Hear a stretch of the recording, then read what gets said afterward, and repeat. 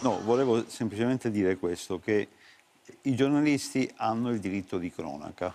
Il diritto di cronaca è stato sancito da una sentenza del 1972 e in base a quello poi per sempre diciamo, i giornalisti non rispondono non diciamo, della violazione di reato a cui si riferiva Giubilei. Eh. La violazione di segreto e la pubblicazione di documenti riservati è stata un reato a lungo, ma questo non ha impedito che i giornalisti, facendo il loro mestiere, rivelassero anche degli scandali molto importanti che hanno contrassegnato la storia della Repubblica e lo hanno fatto certo in collaborazione con i magistrati o con i cancellieri o con gli avvocati che gli passavano le carte. Da un certo punto in poi è stato riconosciuto che esiste una cosa che si chiama diritto di cronaca il diritto di cronaca ormai fa parte diciamo, del, dei diritti affermati in questo Che quindi va oltre anche famoso, la famosa privacy, va oltre... Va oltre, assolutamente, perché eh, diciamo, eh, ovviamente devono essere notizie vere, devono essere documenti sì, diciamo veri, che sapere devono, perché, faccio un nome a caso,